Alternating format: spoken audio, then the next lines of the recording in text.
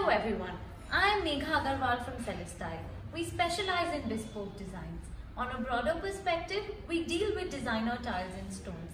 Tile laying is done in two ways. The first using paper joint and the second using spacer joint. Today I am here to talk about the advantages of laying tiles using a spacer joint. The first one, it beautifies the joints. Spacers are used to align the tiles, hence elevating the aesthetics. Moving to the second, it manages thermal expansion. The raw materials as well as the tiles undergo thermal expansion owing to the climatic changes. The tile expands and contracts resulting in cracks when laid using paper joint. Moving to the next.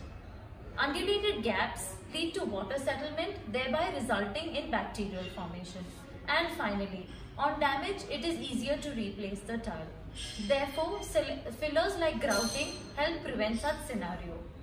So choose wisely and explore Celestile. Thank you and see you soon.